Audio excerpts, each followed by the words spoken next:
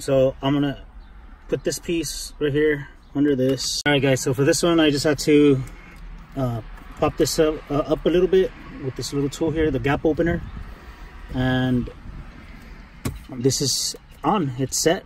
Really sturdy. Actually it's really really sturdy so that's pretty good. Um, I'm liking that so far.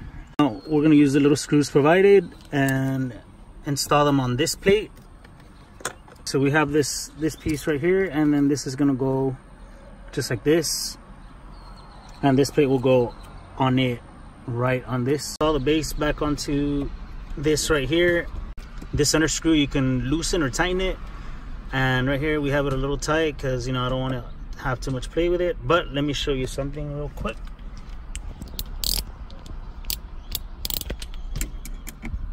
You can loosen it a little bit and you know it's a lot more you know it moves a lot more freely. You're going to get these two screws and you're going to place your phone in there uh, according to the width of the phone.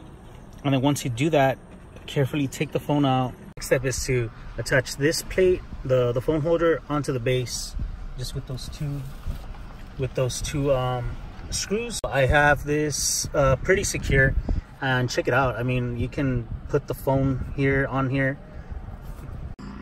but this is a really awesome product and it's on there very secure. Uh, just make sure that when you install this of course the proclips usa uh, symbol logo is up and the same for the phone holder that the symbol is up. So i just want to say uh, thank you proclips usa uh, this is actually a very awesome product.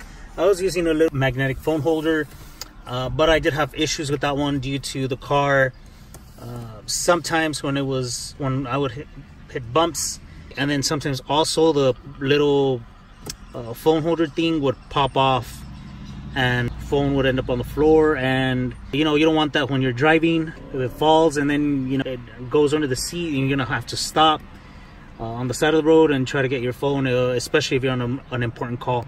Hi, and this video is just the installation of the ProClips USA phone holder and like I said if you want to see a, a, review like a launcher review I'll be uh, posting that more than likely later on in the future uh, the long-term use of it. So thank you guys.